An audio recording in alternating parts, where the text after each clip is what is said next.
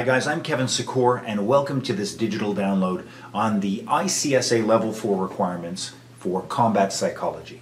Now, whether or not you're looking at this download as simply a continuation in your certification track as you pursue higher levels in learning, or whether you're looking at it as a standalone product to supplement your existing training, I believe that the information contained in this download is among the very most important.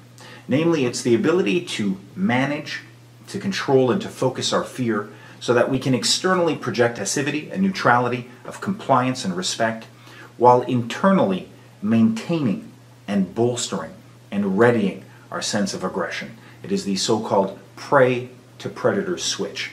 This is one of the domains that is the most overlooked. It is the least understood, and there is a significant amount of research out there to, to supplement everything that I'll say in here.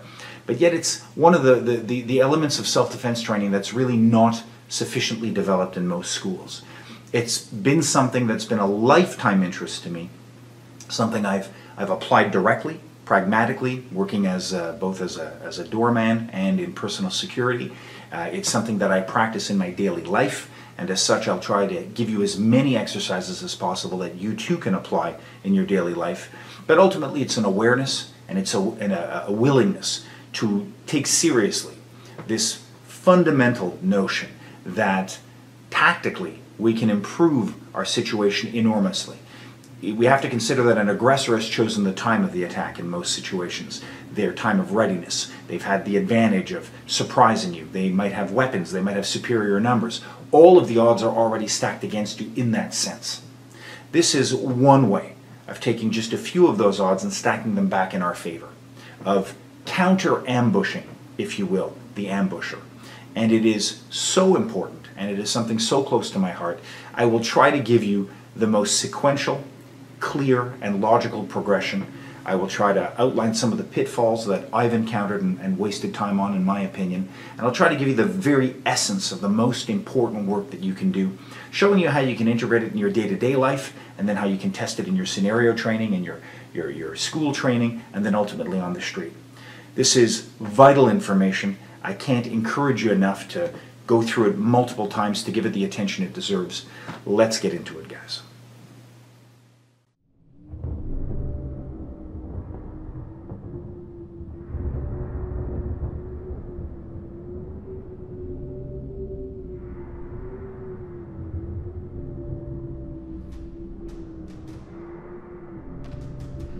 Whether or not we want to admit it, deception and the ability to detect it are pillars of human and animal communication alike. The advantages of reliably communicating are obvious.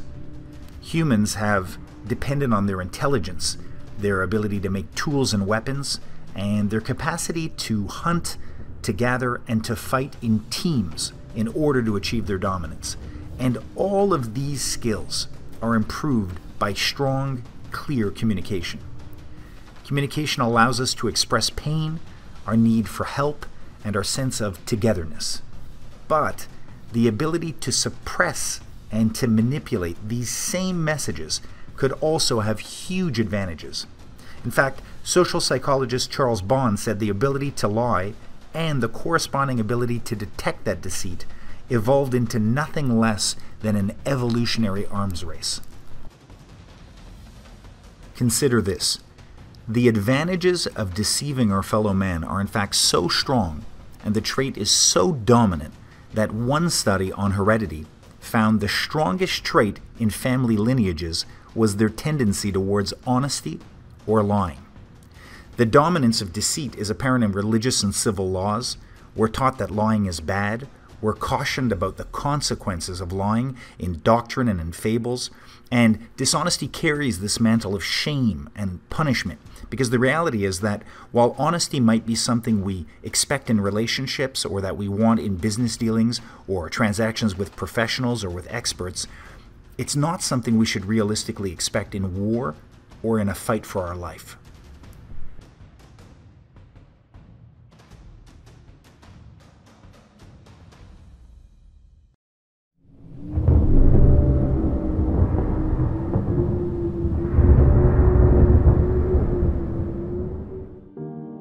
Our program is going to consist of four essential components. First, we're going to revisit assertiveness and aggression training.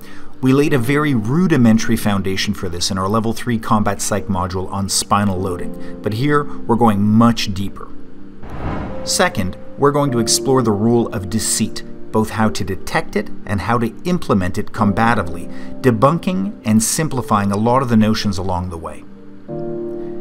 Third, we're going to examine conflict control, giving you an assortment of new tools not covered elsewhere. This is a great complement for our 20 Steps to Verbal Mastery program if you've already seen it. Finally, we're going to work specifically on forging our duality, that prey to predator switch, learning how to be quietly strong while smoldering with internal strength.